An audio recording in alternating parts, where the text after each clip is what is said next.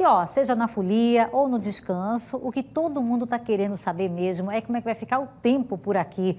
A previsão é de que a temperatura continue lá nas alturas em Alagoas durante esse carnaval. Esse calorão exige alguns cuidados com a saúde. É o que a gente vai conferir na reportagem da Mônica Hermírio participou das prévias carnavalescas já deu para sentir como as temperaturas estão em alta, principalmente quem brincou nos blocos durante o dia. Na verdade, não precisa nem ir para a avenida pular atrás dos blocos para sentir o que os termômetros estão nos mostrando. O calor chegou e parece que não vai embora nem tão cedo. E os dias de folia serão quentes, muito quentes. Aqui no litoral, essas temperaturas elas podem ficar próximas até dos 31 graus em algumas cidades. Já no sertão, essas temperaturas máximas elas podem variar de 38 a 39 graus com sensação térmica muito além. Então, isso é comum para essa época do ano aqui também na nossa região. E em virtude dessa, dessa combinação de altas temperaturas e umidade, a gente pode ter alguns eventos de pancadas de chuvas lá na região do sertão, em algumas cidades ali do sertão do, de Alagoas.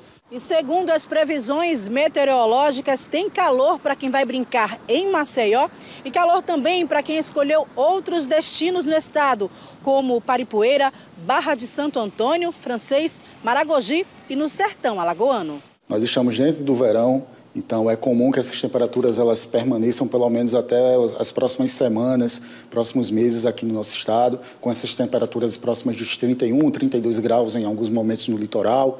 Já no sertão, essas temperaturas próximas dos 40 graus. Então, para cá, para nossa região, isso é comum que ocorra, uma vez que a gente, nós estamos dentro do nosso período de verão. E com todo esse calor é importante ficar atento na hora da folia. Cuidados que nem todos têm na hora de curtir a festa e o sol. Mas essa turista de Brasília já sabe exatamente o que precisa fazer. Ah, é tomar muita água, verduras, né, no almoço, né, e salada de fruta. A gente acabou aqui de tomar uma salada de frutas e é isso, hidratar bastante. E não se expor tanto ao sol, né? Protetor solar sempre.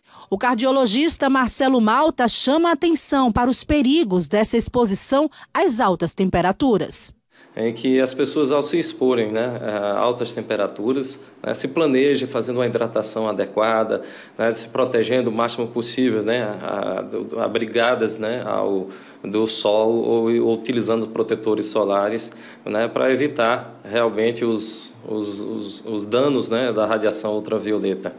É, tem que se levar em consideração que é, nesse tempo muito quente, a desidratação que acontece no organismo, é, aumentando a temperatura do corpo, faz com que, é, e juntamente com bebida alcoólica, a desidratação ela passa a ser muito é, importante, né, podendo levar a danos ao organismo, pode levar a mal súbito, queda de pressões arteriais, desmaios e vários outros sintomas, inclusive a própria insolação, né, que seria é, uma elevação muito grande grande da temperatura corporal acima de 40 graus, né, onde o mecanismo de transpiração ele não consegue mais haver uma diminuição da temperatura corporal e isso é, aumenta bastante a, o quadro de desidratação e essa desidratação ela leva à disfunção dos, dos outros órgãos, né, tendo sempre que levar em consideração que 70% do nosso organismo é feito de líquidos. Então, se você falta o componente principal que é justamente a parte líquida, né, começa a haver disfunção de outros órgãos. Ou seja, todo cuidado com a folia e o calor ainda é pouco. E o folião deve usar e abusar da água, sucos, água de coco e frutas. A gente pode dizer que esse carnaval literalmente vai pegar fogo? Vai.